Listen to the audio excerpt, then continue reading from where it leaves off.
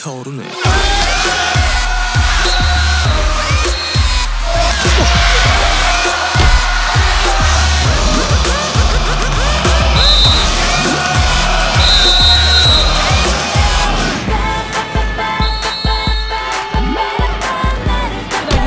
하고 얘 앞시 때려 앞시 가운데 정지훈 성공 네. 가운데 정지훈 성공 정지훈 선수 활약 대단하네요. 네. 가운데 배우라 브로킹. 아, 정지훈 덮어냅니다. 정지훈이 덮어내면서 승리를 가져가는 현대건설. 네, 현대건설의 정지훈 선수 만나보겠습니다.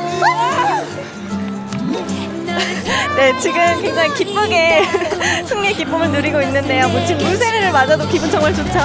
네, 정말 좋아요. 그 최초 인터뷰입니다. 좀 심정이 어떻습니까? 어, 영광입니다.